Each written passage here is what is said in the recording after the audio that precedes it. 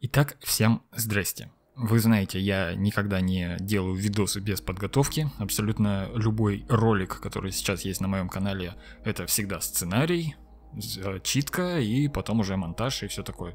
Я к этому серьезно отношусь. Но этот ролик исключение. Исключение просто выдающееся, и почему вы сейчас все поймете. Буквально несколько минут назад Джо Блэкберн опубликовал, это гейм-директор Destiny, опубликовал большую статью. Это просто стена текста, стена текста о том, что будет с Destiny дальше. Вы знаете, что вопросы о том, что же будет дальше с игрой, волнуют нас вообще уже не первый год, и всегда находятся те, кто жалуются, всегда находятся те, кто восхищаются, и вот они в постоянном таком противостоянии. И в последнее время, ну, не будем скрывать, проблемы накопились довольно серьезные во многих аспектах игры, и их решение просто уже напрашивалось, и многих, ну, не знаю, ну, короче, вы поняли мою мысль, что было тяжело в последнее время. Ну так вот, сейчас, после этого текста, я думаю, что каждый из вас немножко выдохнет. По крайней мере, хотя бы из-за того, что, да, здесь говорится о будущем, но те вещи, которые называют в статье сейчас, они, они заметны. То есть элементарно мы слышим превратилось в мы знаем и мы делаем. Поэтому о чем же речь? Во-первых, королева-ведьма, конец света и далее. Прошлым летом мы в общих чертах рассказали, какой видим следующую эру Destiny 2. Здесь Джо пишет о том, что они анонсировали за грани света, Королева-ведьма и Конец света. Три больших дополнения, и Конец света предполагался как финальный такой аккорд, дополнение которым завершится сага Destiny. Об этом напрямую не говорилось, но все шло к этому, как бы конец света, последнее дополнение, все. Так вот, э, начали с Королевы Ведьмы, то есть следующее дополнение. Э, Джо пишет о том, что э, дополнение перенесено на начало 2022 года. Это решение далось студии непросто, разумеется, потому что изначально дополнения все выходили всегда осенью, там примерно где-то сентябрь-октябрь в это время, но со следующим дополнением ситуация исключительная, потому что они не хотят, чтобы оно было очередным, ну, таким проходником, хотят сделать что-то действительно массивное, большое, вы знаете, если следите за новостями, что студия активно сейчас расширяется, и главный офис, и открывается европейский офис, э, э, и это все вот сказывается на общих масштабах игры, и, по крайней мере, понятно, куда метит серия Destiny. Игра хочет быть большой, как в свои лучшие годы, там, во времена Форсейкена. Сейчас это не позволяет, непозволительно, потому что Forsaken делался не только студией Bungie, над ней работали дополнительные студии, Vicarious Visions, например. Но сейчас, э, после разрыва с Activision в э, прошлом да, году, все вот изменилось и сказалось на масштабе игры. Так вот, чтобы этот масштаб сохранился с дополнением Королева Ведьма, Банжи вынуждены отодвинуть, ну, я так понимаю, это почти полгода, грубо говоря, получается. Следующее дополнение. Кроме того, как э, в основе Destiny лежит идея единого развивающегося мира, нам по-прежнему потребуется время на обновление лежащих в основе Destiny 2 систем. И тут как бы сразу Джо говорит о том, что нам нужно починить PvP, нам нужно поговорить о трансмоге, нам нужно поговорить о кросс-платформе, и это все будет в этой статье. Ну и самая важная причина, которую он назвал, это то, что мы вот справились и помогли, ну, смогли поддерживать игру и развивать ее вот в такое тяжелое время. Имеется в виду пандемия и вот весь этот связанный с рынком кризис. Уже когда я срендерил видос и почти залил его на YouTube, я понял, что я в самом начале вот здесь вот упустил очень важную деталь, которую написал в группе, а вот во время чтения, видимо, отвлекся. Э, дополнение «Конец света» не станет последним дополнением. Разработчики поняли, что необходимо сделать такое послесловие, уже финальное дополнение, которое закроет конфликт света и тьмы, и после этого, ну, там, эра Destiny каким-то образом закончится, и закончится ее основная история. Вот, это такое важное замечание. Начали обсуждение наград.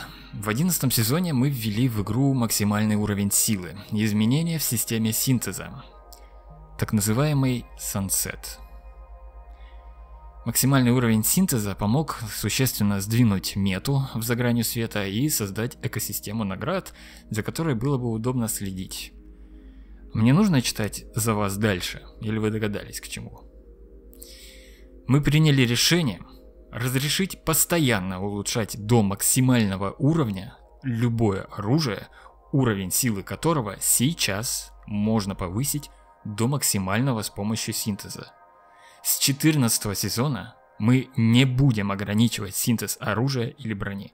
Если кто-то не понял, все, что сейчас у вас есть из актуальных предметов по уровню силы, останется таковым навсегда. Sunset, ограничение уровня силы, которое... Сколько это в игре эта система продержалась? Год? Полгода? Все, больше этого нет. Это всех раздражало. Это новичков, либо людей, которые возвращались э, в игру после долгой паузы, ставило в тупик куча вопросов. Сколько мне э, каждый день, реально каждый день мне пишут, типа, а что такое? Я зашел в игру после Форсейкена, а все оружие превратилось в хлеб.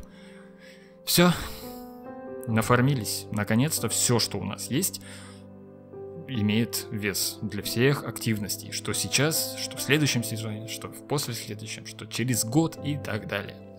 Наконец-то. Сказать, что я и вы, я думаю, рады этому, ничего не сказать. Это существенное изменение для Destiny, и оно, ну, блин, я думаю, что, да, что вы думаете, тут прямо так и написано, оно далось нам нелегко. Я думаю, на этот шаг студия пошла скрипя зубами, потому что как бы сначала эту систему нужно было ввести, ее оправдать, ее продать игрокам, а теперь от нее отказаться и понимать, что отказ от этой системы вызовет взрыв позитивных эмоций у игроков. Ну, лично у меня вызвало, потому что я теперь могу не переживать за все гадролы, которые я там кровью и потом достаю. Правда, надеюсь, в будущем банжи также и расширят нам хранилище предметов, потому что куда-то все это добро скидывать надо. Преимущество в силе, следующий заголовок. Вот обсудили награды, пишет Джо, и теперь поговорим еще про силу. Э, как вы знаете, с каждым сезоном сейчас э, кап, э, кап силы, ограничение силы, то есть поднимается на 50 единиц. То есть если у вас там сейчас кап 1310, то по идее в следующем сезоне кап должен быть, э, должен быть 1360 единиц. Но так вот, нет. Со следующего сезона ранг уровня силы будет повышен только на 10 единиц. Для чего? Для того, чтобы вы не гриндили, каждый год не, э, каждый сезон не сохраняли контракты, а просто играли в игру и получали удовольствие, чтобы у вас игра была не ради фарма, единичек каких-то в Nightfall ах, ради игры, ради удовольствия, а не ради просто какой-то мнимой гонки. Вот тот мой соклан быстрее вкачался, капец, я сегодня не сплю на энергетиках, но догоню его. А это тоже уходит. Ангелы смерти, следующий заголовок, и здесь большой блок про PvP. Читать все прям подробно сейчас не буду, но первое, что какое первое изменение здесь э, названо, это то, что будет отключаться э, возможность фрипик. Для тех, кто не знает, это э, ну такой in-game legal cheat, когда игрок заглядывает за стену, не выходя из нее с помощью эмоций, либо доставания, переключения на меч. То есть где-нибудь в Осирисах это, это, это просто постоянно, это используется вечно, и трушное PvP там чуваки постоянно жаловались, что их чекают за стенами. То есть ты выходишь со снайпой. Чувак за стеной, ты знаешь, что он там сидит на картах с мечом в руках и заглядывает камерой. Это типа ненормально. На это было очень много жалоб уже там. И Frostbolt писал, и Geeks писали, и все это. Вот если в Твиттер западный зайти, об этом речь идет уже, ну, год точно. Ну так вот, эту э, проблему в 15 сезоне решат, то есть не в следующем, а через один. Сейчас у нас 13 Жесты в режимах испытания Сириса и состязательной игре э, будут отключены, и игроки не смогут достать оружие, э, которое требует вид от третьего лица, если у них нет патронов. То есть, если у вас в мече патронов нет, меч вы не достанете. Эмоции тоже не прожмете. Так что в этом плане победили. Не то чтобы меня лично это как-то сильно беспокоило. Ну, я и сам этим грешил. Все, ну, как хочешь играть, хочешь закрывать, при, приходится играть, как все, не совсем вот так вот чисто. А, во-вторых, в нескольких следующих сезонах мы проведем несколько изменений в подклассах стазиса и света, чтобы лучше сбалансировать их в горниле. Здесь подробно, ну, относительно подробно рассказано, как каждый подкласс э, стазиса у каждого э, каждый подкласс у каждого класса будет ребаланситься, то есть если в двух словах, стазис в PvP слишком мощный, его надо чуть-чуть остудить. И при этом дальше написано о том, что наоборот усилить э, подклассы света, то есть классические, там Solar, пустотный и Arc, электрический. Э, на эту настройку идет довольно много сил, и судя по тому, что там дальше потом будет еще написано по PvP, разработчики реально озаботились тем, что, ну, как бы PvP погрязло Сами знаете в чем, типа, проблем у PvP так много, что отсутствие, например, новых PvP карт в течение там, полутора лет, это не проблема от слова совсем. Главное из них, вы знаете, читеры. Об этом тоже большой блок. В этом году студия увеличивает э, штат сотрудников в службе безопасности практически вдвое. То есть людей, которые отсматривают заявки на нечестную игру, будет больше. Напомню, сейчас все баны, которые выдаются в игре читерам, там, каким-то чувакам, которые используют другие лазейки в PvP матчах, э, все эти заявки отсматриваются вручную, поэтому это происходит чуть медленнее, но зато эта система эффективнее. Я бы был бы рад еще, если бы Э, переняли систему репортов у Riot. Э, там в League of Legends и в, по-моему, уже даже в Valorant есть система таких доносов, когда человек, э, если он читерит, на него команда пишет репорт, и когда он заходит в игру, ну или там даже не за читы, за что-то другое, например, за плохой коннект, он заходит в игру, ему кидается большая статья такая в виде красивой такой как бы папочки, как PDF документ, где подробно объясняется, чувак, тебя забанили, потому что ты из трех игр подряд вылетал из-за плохого коннекта.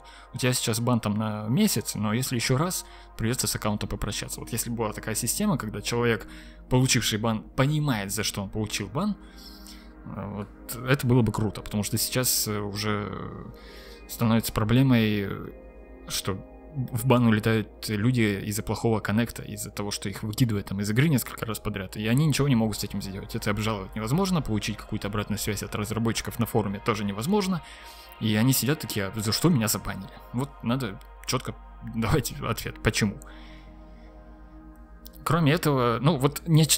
похожую систему они тут, кстати, описывают, что они хотят э, рассылать э, игрокам анкеты на почту, чтобы игроки там отвечали на вопросы, именно касающиеся их опыта в PvP. Понятно, что там все будет, скорее всего, негативно, потому что люди не любят проигрывать в PvP.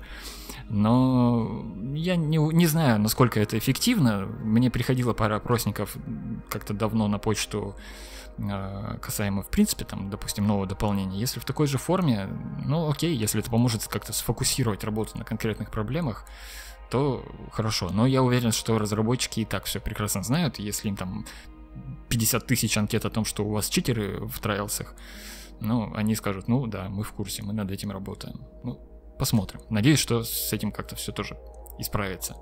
Помимо баланса геймплея и безопасности, мы бы хотели отрегулировать структуру наших самых мотивирующих PvP режимов. Речь об испытании Сириса. Самый желанный, самый страшный, самый самый-самый-самый режим PvP в Destiny мы все хотим закрывать испытания Сириса, но мы хотим закрывать их там честно, интересно, без там попа боли, без э, постоянных вылетов, без попадания на читеров, либо на MLG Gaming. Ну так вот, э, будет что меня порадовало, улучшить общее состояние пула подбора игроков испытания Сириса, как за счет привлечения к участию в испытаниях более широкой аудитории, так и за счет более точного разделения игроков по уровню мастерства. По факту, SBMM матчмейкинг. Матчмейкинг по скиллу, господи. Я каждые выходные сижу в Осирисе и просто думаю, я бы играл в этот режим просто 24 на 7, как в старые добрые времена, только если бы меня коннектило на таких же типов, которые, как и я, вот там, с КД единицы сидят, играют, вот чуть там побольше, там какая-нибудь цифра мне посильная, чтобы было непросто, но было интересно и возможно. Не так, что чувак выходит и в прыжке тебе со снайпы вешает, и ты не понимаешь, или это он такой крутой, или это читер, и вот это демотивирует. Над этим работают. Наконец-то матчмейкинг починят. Также будет переработана структура наград испытаний, таким образом, чтобы мотивировать участников дольше играть на одном пропуске. Текущая структура побуждает игроков сбрасывать пропуск после одного поражения. Да, если мы там залетаем, неважно, там, допустим, с билетом, на который прощает одно поражение. В любом случае, если это поражение встречается раньше, чем ты сделал 4 победы на билете без поражений, ты обнуляешь этот билет и заново. И в таком случае ты просто можешь просидеть, пробуксовать, ну там, 4 часа, например, на одном билете. Это ненормально. Над этим тоже работают. Плюс э, разработчики изучают возможности регулярного участия в испытаниях Осириса для стражей, играющих в одиночку. Мы считаем, что это не только улучшит пул подбора игроков, но и мотивирует больше стражей заходить в испытания. Я не уверен, что хорошая идея делать э, матчмейкинг в Осирисе для одиночек в общем против команд, но если это будет как э, сейчас, допустим, для Железного Знамени или для состязательных плейлистов, где одиночки играют против одиночек, то это вполне себе, потому что вторая проблема Осирисов э, после проблемы там с сложным матчмейкингом и читерами, третья получается, да, проблема, это то, что я одиночка, я, типа, как играть. Так что вот, окей, работают. Месть придит. О, вы уже видите эту картинку, да? В 14 сезоне, это в следующем, а в игру вернется рейд «Хрустальный чертог» Vault of Glass из первой части. Команда еще о нем расскажет подробнее, но сейчас такая небольшая затравочка. Из-за того, что э, рейд старый, его механики все э, старичками изучены, э, перед командой стояла задача сделать его все равно интересным и насыщенным для прохождения э, хоть опытными, хоть, не, хоть новичками. И в первые 24 часа, например, то есть гонка на first day, на day, блин, day one э, рейда, будет проходить немного по обновленному формату. Поскольку, допустим, ну, там, наша команда знает все механики, для того, чтобы мы могли э, побороться за звание людей, которые закрыли рейд первыми в мире, нам нужно будет выполнить сложные триумфы из специально подобранного списка, видимо, именно за первое прохождение. То есть, ну, такие дополнительные мини-челленджи, например, на каждом этапе. Чтобы мы не просто такие, ага, я знаю, где там темплар в какой момент телепортируется, я знаю, где каждый оракул спаунится, я с закрытыми глазами сейчас все пройду, рейд за 20 минут изи. Нет, никак, надо будет чуть-чуть подпотеть. И вот еще что, до конца года мы планируем добавить в рейд Хрустальный чертог сложность Мастер. Сложность Мастер — это не что иное, как прямая реакция на фидбэк комьюнити, когда вышел рейд Склеп Глубокого Камня, и он показался всем игрокам ультра легким. Типа, чуваки, которые постоянно закрывали Day One и разнылись, что типа в этот раз закрыли 5000 команд там, да, или сколько э, рейд в первый день. И это как бы нечестно, что это мы раньше были такими особенными, а тут давайте хотя бы какой-нибудь мастер э, рейд добавим. Вот, появится. Очень э, им понравилось идея, как работают мастер и грандмастер э, в сумрачных налетах, и я тут согласен, типа, как челлендж такой э, ингредиент, это работает отлично. У Найтфоллов были проблемы с наградой, но сейчас э, с этим тоже чуть-чуть как бы поработали, там появляются адепт пушки, и лично я, если я там игнорировал все грандмастеры после того, как я один раз выпил эту печать, то сейчас я жду грандмастера, чтобы пойти туда за адептами, и мне интересно. Так вот, как бы с э, рейдами примерно такая же история. Аделаида, мы с вами раньше не встречались? Ох, Аделаида. В 14 сезоне Ада-1 вернется в башню. Ну, ребят, я... У меня сердечко бьется каждый раз, когда я просто слышу имя Ада. А уж когда она снова появится в Тауэре, э, простите, пожалуйста, я, я, я этот день как красный день календаря обведу, потому что Ада мой исключительно любимый персонаж во всех смыслах.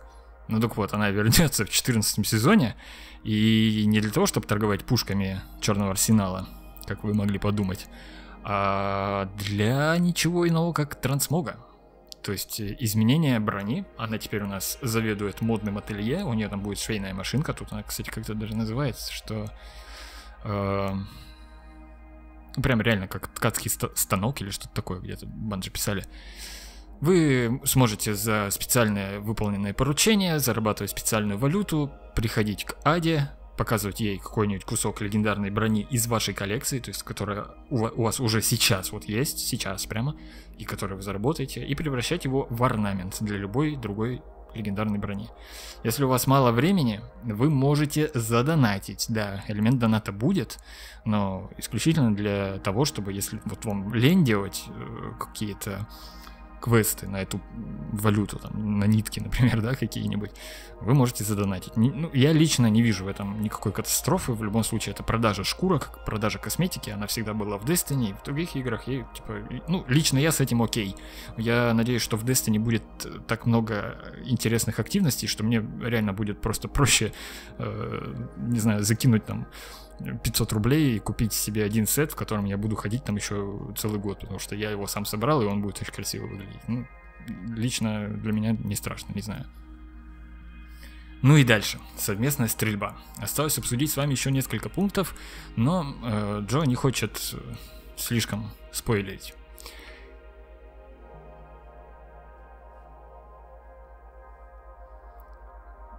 Поэтому напоследок просто речь о кросс-платформе. Кросс-платформа появится в 15 сезоне, то есть через сезон. В следующем сезоне уже будет альфа-тестирование этой функции, и после запуска кросс-платформы этой осенью мы сможем уже поиграть там, консольщики с пикарями, пикари с консольщиками.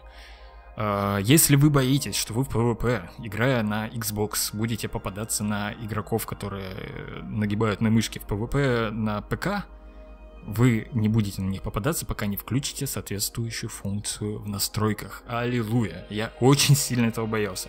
Ну, я, ну как и многие, я думаю. А, единственное, мне очень интересно. Вот я, например, планирую возвращаться на консоль и переходить на Xbox Series X. Э, могу ли я сделать так, чтобы кроссплей был именно между Xbox и PlayStation, исключая ПК? Или галочка будет одна, включить кроссплей, отключить кроссплей? Вот это, это вот меня лично очень сильно интересует, потому что в любом случае в российском сообществе база игроков на PlayStation пока что больше, чем у Xbox. Хотя к этому тоже есть вопросы.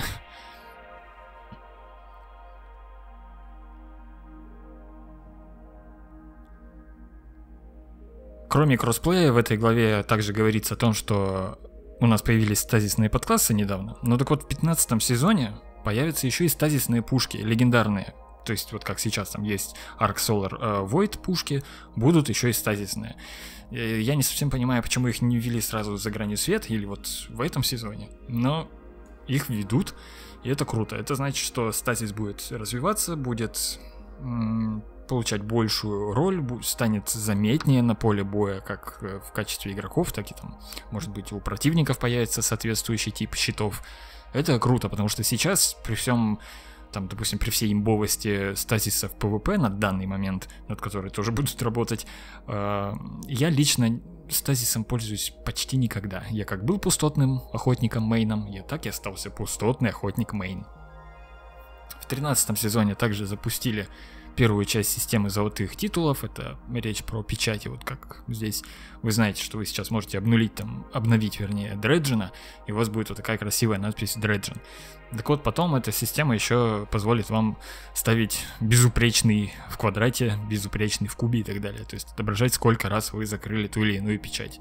Ну и, в общем, э, Джо больше не хочет повторюсь, спойлерить и рассказывать слишком много, но из-за того, что это такой длинный блок текста, а для вас еще и длинное видео, он вот решил побаловать вот таким вот артом. Это концепт-арт брони, которая появится в игре со следующим дополнением «Королева-ведьма». В общем, пишите в комментариях, что вы об этом обо всем думаете, но лично я Э, признаюсь честно, я э, в последнее время был в слегка таком растерянном состоянии. Вот, допустим, миссия Предвестник меня покорила. Это лучшее, что было в Destiny за последние, ну, полгода-год. Мне, я кайфанул с дополнения за гранью света, но там тоже были проблемы, допустим, с тем же балансом стазиса, с, с сансетом. Сансет и удаление планет в хранилище, оно ну, сильно испортило впечатление. Не для меня лично, а для, допустим, большинства игроков, а мне приходилось с этим как бы ну, мириться и постоянно объяснять людям, куда делись планеты, объяснять им, что это и по сюжету тоже как бы рассказано, почему так, и геймплейно это важно, потому что игра становится слишком большой и красивой, ее надо содержать. Ну, в общем, не будем сейчас повторно об этом. Ну так вот, все эти вопросы как-то накопились, и голова уже реально, ну, немного трещать начала. И при всем при этом я люблю Destiny, я люблю свое дело, я, я не представляю себя без этого. Поэтому каждая вот такая новость в этой статье для меня была просто шоком, реально. Я в большом восторге. Ребята из Банжи, спасибо вам огромное, что вы реально слышите и действительно работаете над этим. Они могли бы перечислить эти изменения и сказать, что они появятся в суперграндиозном дополнении Королева Ведьма. Но нет, большая часть этого появится в следующем сезоне или через сезон максимум.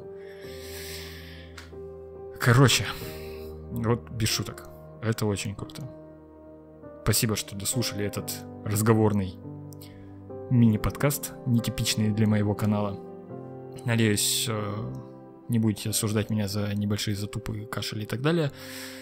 Всего вам доброго. Грядут у нас изменения. Грядут. Подписывайтесь там, ну вы знаете. Пока.